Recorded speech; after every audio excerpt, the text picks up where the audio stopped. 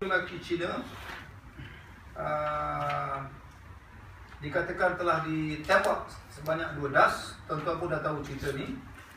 Dan kemudiannya setelah 17 hari berada di hospital uh, Kelang mangsa telah meninggal dunia iaitu pada 7 hari bulan 9 tahun 2015 lebih kurang pukul 9 suku pagi. Jadi dalam kes ini ni siasatan kita telah uh, jeniskan di bawah uh, Section 302 KK apabila mangsa telah meninggal dunia dan kita telah uh, uh, mengenal pasti suspek-suspek yang disyaki terlibat.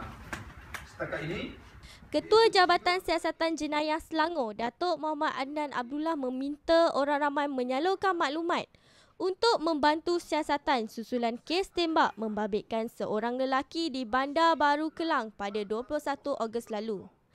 Tiga lelaki yang diburu itu ialah Lim Hock Siong 28, Oh Chok Seng 51 dan Lok Kok Chiu 53. Sebelum ini, mangsa berusia 45 tahun ditembak dua das tembakan di peha kiri serta perut dan meninggal dunia selepas 17 hari menerima rawatan di Hospital Tengku Ampuan Rahimah Kelang. Motif kejadian dipercayai angkara balas dendam dan kes disiasat mengikut Seksyen 302 Kanun Keseksaan kerana membunuh. Ini dia yang kita minta bantuan untuk orang ramai bantu kita mengesan suspek-suspek yang saya sebutkan tadi.